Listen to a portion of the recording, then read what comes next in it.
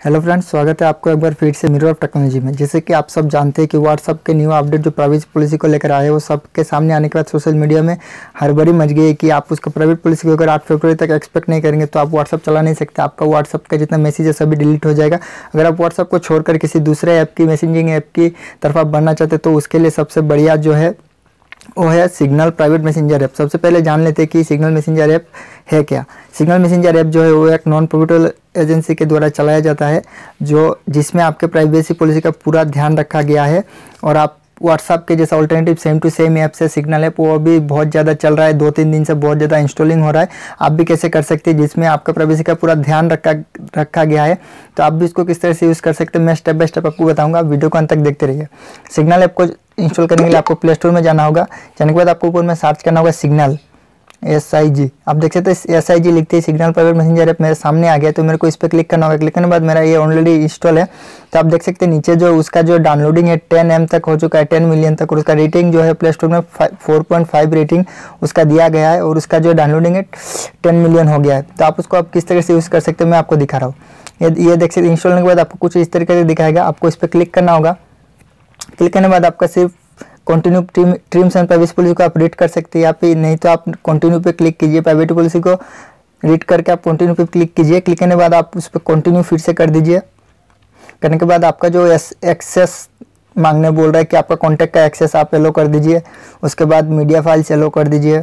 उसके बाद make call से आप फ़ोन कॉल करेंगे वीडियो कॉल करेंगे। आप उसके बाद आपको जो मोबाइल नंबर से वेरीफाई करना पड़ेगा, आपको अकाउंट को आप किस नंबर से चलाना चाहते हैं।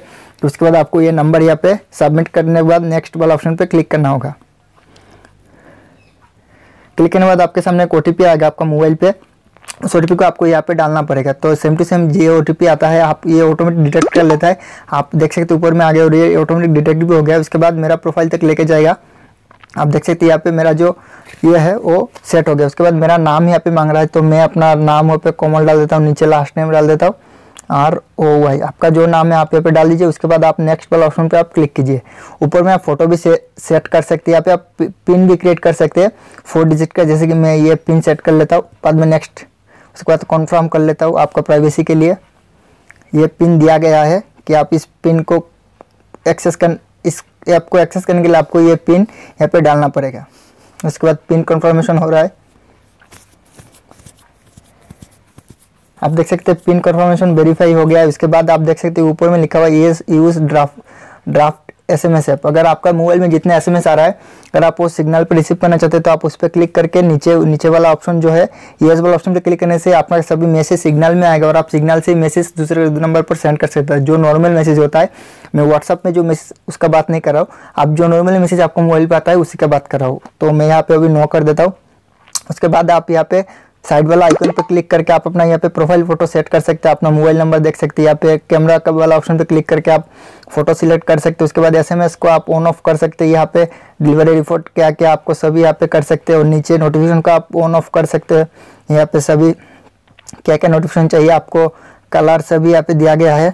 उसके बाद प्राइवेसी को आप देख सकते हैं स्क्रीन लॉक ऑन ऑफ़ आप यहाँ से सब कुछ कर सकते हैं। उसके बाद अपेरेंस में आप थीम को चूज़ कर सकते हैं लाइट थीम लैंग्वेज आप सभी यहाँ पे सेट कर सकते हैं। उसके बाद आप नीचे देख सकते हैं चार्ट्स एंड मीडिया लिखा है। आप चार्ट्स एंड मीडिया में क्लिक करके आपका जो बैकअप है, आप यहाँ पे ले सकते हैं। आप देख सकते नीचे लिखा हुआ है चार्ट्स एंड बैकअप आपको इस पर क्लिक करके टर्न ऑन करना है ताकि आप जो भी बैकअप जो भी आप चार्ट करेंगे, वो आपका एक मोबाइल में सेट हो जाए किसी फोल्डर में। उसके बाद एनेबल बैकअप पे आपको क्लिक करना होगा।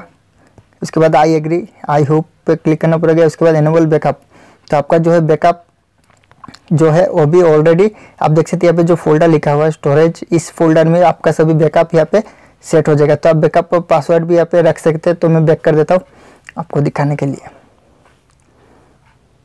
उसके बाद आप ऊपर में सर्च बार में क्लिक करके यहाँ पे अगर कोई सिग्नल चला रहा है आपका कॉन्टैक्ट में से तो आप यहाँ पे नाम सर्च करके उसको पता कर सकते हैं। उसके बाद मैं इसको बैक कर देता हूँ। उसके बाद आप थ्री डॉट पे क्लिक करके आप यहाँ पे न्यू ग्रुप ग्रुप क्रिएट कर सकते हैं। उसके बाद इनवाइट फ्रेंड कर सकते हैं। आप किसी फ्रेंड को इन्वाइट करना चाहते हैं तो कर सकते हैं। उसके बाद सेटिंग में आप जो प्रोफ़ाइल में जो सेटिंग है, आपको यहाँ पे मिल जाएगा। उसके बाद नीचे का, नीचे जो नोट का ऑप्शन है, आप नोट्स भी सेव कर सकते हैं यहाँ पे। जैसे कि मान लीजिए यहाँ पे लिखा हुआ है नोट्स टू सेल्फ उस पर क्लिक करने के बाद आप जो है अपना लिए कुछ नोट सेव कर सकते हैं। जैसे कि मान लीजिए मैं यहाँ पे कुछ लिख लेता हूँ गेम जो भी प्लानिंग है। जैसे कि मैं मान लीजिए गेम प्लानिंग इस तरीके से आप कुछ भी प्लानिंग यहाँ पे अपना जो सेव रहेगा, किसी को दिखाई नहीं देगा। सिर्फ़ आप देख सकते हैं आपका क्या क्या प्लानिंग आप यहाँ पे नोट्स करके सेव कर सकते हैं फ़ोटो इमेज वीडियो ऑडियो सभी आप रख सकते हैं, जो पूरा प्राइवेट रहेगा। आप इसी तरीके से जो है प्राइवेट सिग्नल को यूज़ कर सकते हैं सिग्नल मैसेंजर ऐप को। चलिए दोस्तों, आज की वीडियो में इतना करता आपको पूरी जानकारी मिल गई होगी। वीडियो अच्छा लगे तो लाइक कीजिए कमेंट कीजिए, दोस्तों के साथ शेयर कीजिए। वीडियो पूरा देखने के लिए थैंक यू सो मच